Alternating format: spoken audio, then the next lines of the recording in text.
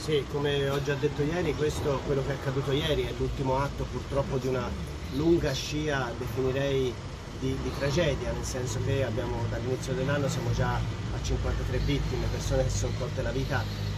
nelle carceri. Eh, è una cosa che non è più tollerabile ed è unicamente dipendente dalla, da, una scelta,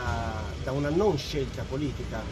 E noi non possiamo più far finta di niente, non lo facciamo da tanto tempo, ma la nostra voce è totalmente inascoltata. In meno di, di, di due settimane fa noi abbiamo fatto una maratona oratoria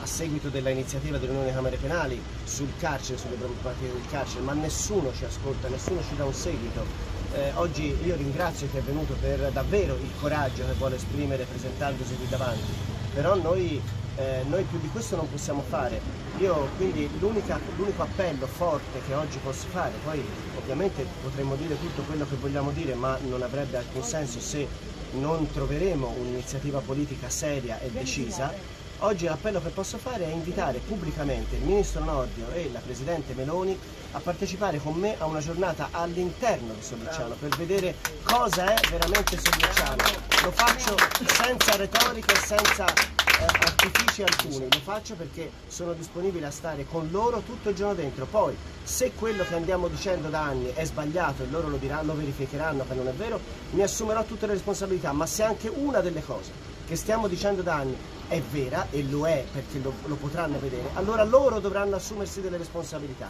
perché non è più tempo possibile andare avanti in questa maniera.